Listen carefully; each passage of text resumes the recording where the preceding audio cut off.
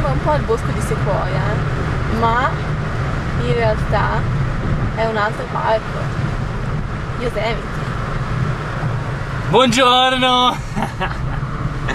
Oggi siamo a Yosemite, famoso per il suo bellissimo panorama e non per le sequoie giganti, nonostante ci sia anche qua un bosco di sequoie giganti, che però non abbiamo visitato, dato che noi abbiamo già visto un Eh. bosco di sequoie ancora più giganti. Siamo già entrati in tutte le sequoie giganti possibili e immaginabili.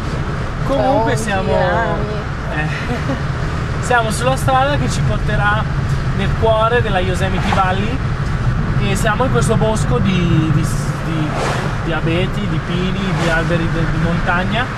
Siamo intorno a 1700 metri, Ma non si sente. ma non si sente, fa caldo. La, la strada è come al solito molto larga e tranquilla. Sulla sinistra si vedono un po' di valli, però per il momento si- siamo proprio nel, nel cuore del bosco, quindi forse adesso qua si riesce a vedere qualcosa. Vediamo, vediamo. Questa curva. Non so. Qualcosa, sì. Sì. Sono un po' di, di montagne con le bosche.